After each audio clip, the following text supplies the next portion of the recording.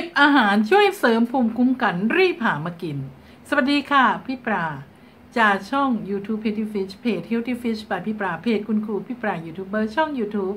คุณครูพี่ปลายูทูบเบอร์วันนี้จะมานำเสนอในเรื่องที่หลายคนอยากรู้ ในภาวะปัจจุบันเราจะกินอาหารอะไรที่จะช่วยเสริมภูมิคุ้มกัน หลังจากฟังคลิปนี้จบคุณจะได้รับคำตอบนั้นทันที และที่สำคัญนำความรู้นี้ไปใช้ แล้วเรามาดูกันว่า 10 อาหารนั้นมีอะไรบ้าง โอ้โห ในภาวะปัจจุบันหลายคนรู้แล้วว่า เราต้องดูแลสุขภาพของเราให้ดี นอกจากที่ว่าเราจะสวมหน้ากากอนามัยล้างมืออย่างสม่ำเสมอพักผ่อนให้เพียงพอหลีกเลี่ยง พื้นที่ที่แออัด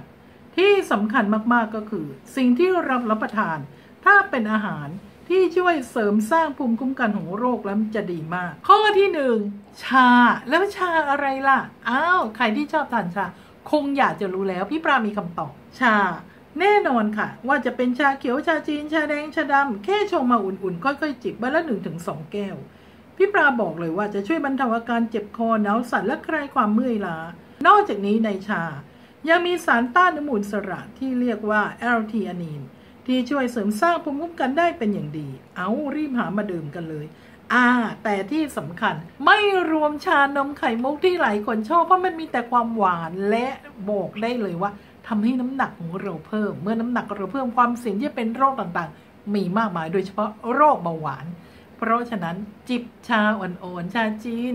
ชาฝรั่งชาไทยก็ได้ จิบอ่อนๆ ไม่ใส่นมไม่ใส่น้ำตาลจะดีมากเลยข้อที่ 2 ก็คือ ขิง น้ำขิงแก่ต้มในน้ำเดือด 30 นาที โอ้โห ค่อยๆ จิบมีสรรพคุณช่วยเพิ่มการไหลเวียนของเลือด เสริมสร้างภูมิคุ้มกันทำให้เม็ดเลือดขาวนี่ไปดักจับเชื้อโรคได้ดีขึ้น และช่วยลดการติดเชื้อที่ทางเดินหายใจ เราจะนำขิงมาปรุงอาหารได้อย่างเรียกว่าอร่อยก็ที่เราทานกันน่ะ ไก่ผัดขิง หรือว่านำมาต้มมันแต่อย่าใส่น้ำตาลมากนะคะ มันต้มขิงกินร้อนๆมันดีมาก และเกิดประโยชน์มากมาย ที่สำคัญเรารู้ว่าขิงมีประโยชน์ และการที่เราทานขิงมันจะช่วยเสริมสร้างภูมิคุ้มกันของร่างกายเดี๋ยวเรามาฟังกันต่อ ข้อที่ 3 ตะไคร้ตะไคร้สมุนไพรกลิ่นหอมหืม เคียงคู่อาหารไทยหลากหลายเมนู ที่เราชอบกันมากๆก็คือต้มยำ เครื่องต้มยำต้องมีตะไคร้แน่นอน สรรพคุณของตะไคร้รักษาหวัด ไข้หวัดใหญ่ แก้อาการปวดหัวปวดท้อง เพิ่มภูมิคุ้มกัน แล้วก็มีเพิ่มสารต้านอนุมูลสระแค่เราได้ทานน้ำต้มยำร้อนๆโอ้โหเราก็เรียกว่าได้ภูมิคุ้มกันที่ดี พี่ปรามมีเรื่องเล่า ในสมัยก่อนเนี่ยคือเราดูแล เรียกว่าผู้สูงอายุที่ภูมิต้านทานนี่จะเรียกว่าอ่อนแออากาศเปลี่ยน หรือว่าพอร่างกายพักผ่อนไม่เพียงพอก็จะเป็นหวัดได้ง่าย เหมือนกับในเด็กเลย เพราะฉะนั้นสิ่งหนึ่งที่จะช่วยให้ดีขึ้นคือทำต้มยำต้มยำที่รสไม่เผ็ดจัด แล้วก็จะมีพวกตะไคร้พวกเครื่องต้มยำต่างๆ เวลาพี่พี่ๆท่านนะคะ หรือท่านผู้สูงอายุทานแล้ว จะช่วยให้สุขภาพของเรากลับมาดี เพราะฉะนั้นใครที่เริ่มมีอาการเป็นหวัดนอกจากจะทานยาพวกแอนติบอติก หรือยาปฏิชีวนะแล้ว พี่ปลาอยากจะแนะนำสมุนไพรไทยของเราง่ายๆ เนี่ยดีและมีประโยชน์มากมาย ข้อที่ 4 ต้นอ่อนทานตะวัน โอ้โห เราไม่อยากเชื่อเลยว่า ต้นอ่อนทานตะวันช่วยควบคุมและรักษาการทำงานของระบบภูมิคุ้มกันให้มีประสิทธิภาพ และช่วยต้านการติดเชื้อในระบบทางเดินหายใจ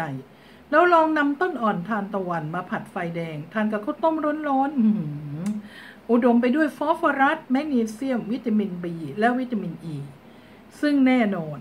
วิตามินเหล่านี้บำรุงร่างกาย เรียกว่าถ้าเรามาทานเพลินๆนี่จะอร่อยมากๆ และมีช่วงหนึ่งที่คนนิยมทานต้นอ่อนทานตะวันกันมาก มันมีประโยชน์จริงๆลองหามาทานแล้วเราจะรู้ว่าสิ่งเหล่านี้ไม่ต้องทานของแพงมากแต่ทานของดี แล้วเรารู้ว่ามันมีประโยชน์อย่างไร ช่วยให้ร่างกายของเราแข็งแรงแข็งแรงมาก ๆ เลย 5. กระเทียม กระเทียมพี่ปราบอกเลยว่า เป็นสมุนไพรประจำบ้านที่อยู่ในอาหารไทยแทบทุกเมนู ในกระเทียมจะมีสารอัลลิซินที่มีสรรพคุณช่วยลดการติดเชื้อในร่างกายทำให้ร่างกายมีภูมิต้านทานจากไข้หวัด และยังช่วยลดระยะเวลาเป็นหวัด นอกจากนี้ยังช่วยลดความดันโลหิต ลดคอเลสเตอรอลและไตรกลีเซอไรด์ในเลือดอีกด้วย คุณสมบัติของกระเทียมมีมากมาย อาจจะกินแบบสดๆ หรือกินแบบที่เป็นกระเทียมอัดเม็ดก็เรียกว่าได้ แต่ถ้าเราทานสดจะดีมาก ข้อที่ 6 พริก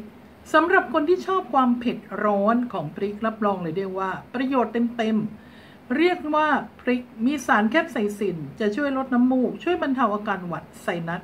หรือภูมิแพ้ อีกทั้งยังเสริมสร้างภูมิคุ้มกันและฆ่าเชื้อไวรัสโอ้โหเรียกว่ามันทานเผ็ดๆร้อนๆจะดีมาก ข้อที่ 7 กะเพรา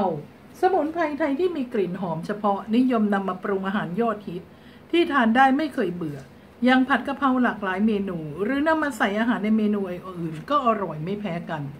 ในใบกะเพรามีสารที่เรียกว่าโอเรนทิน มีสรรพคุณป้องกันไม่ให้ไวรัสเข้าเซลล์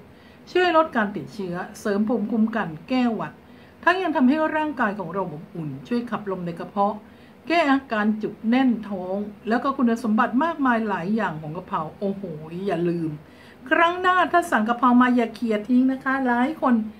ไม่ทานกะเพราเลย เพราะว่ามันมีกลิ่นฉุนและแรงรู้ไหม เรากำลังทิ้งสารที่ดีมากๆเลย เพราะฉะนั้นกระเพรามีประโยชน์มากมาย เดี๋ยวเรามาดูตัวอื่นกันว่า มีอะไรอีกที่ทำให้เกิดประโยชน์กับร่างกายของคนเรา ข้อที่ 8 หอมใหญ่ หอมแดงหรือหอมใหญ่ มีสารเคอร์สติน มีฤทธิ์ต้านไข้หวัดใหญ่ เพิ่มภูมิคุ้มกันให้ร่างกาย เรานำมาต้มซุปหรือปรุงอาหารได้หลากหลายเมนู ได้ประโยชน์กันไปแบบแน่นอนเลย และที่สำคัญถ้าใครเป็นหวัดบ่อยๆอ่าทานหอมแดงนี่จะมีประโยชน์สุดๆเลย เรียกว่ามีประโยชน์มาก 9. เห็ด เห็ดหอม เห็ดฟาง เห็ดนางฟ้า เห็ดออเรนจิ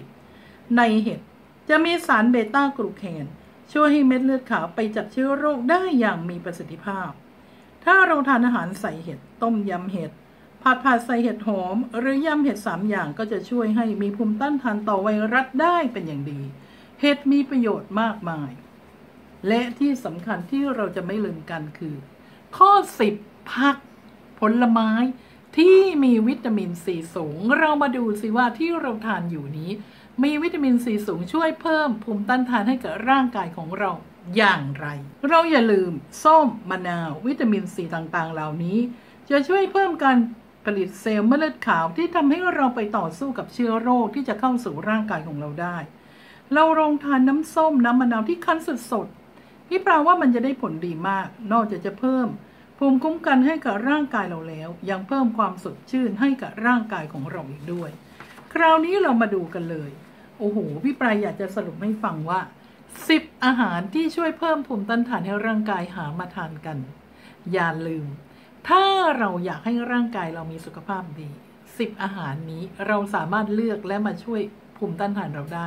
แต่ถ้าเราไม่ดูแลร่างกายหรือไม่ทานอาหารที่มีประโยชน์ เราอาจจะเจ็บป่วยบ่อย ๆ และสุดท้ายสิ่งที่เราจะต้องทำเตรียมสุขภาพของเราให้ดี เพื่อที่จะเตรียมตัวเข้าสู่ผู้สูงอายุคุณภาพผู้สูงวัยคุณภาพ เรามาดูแลสุขภาพพร้อมกันพร้อมกับพี่ปลาเลย มาลุยกันเลยค่ะ ลุยสุขภาพกัน ลุยพันเอก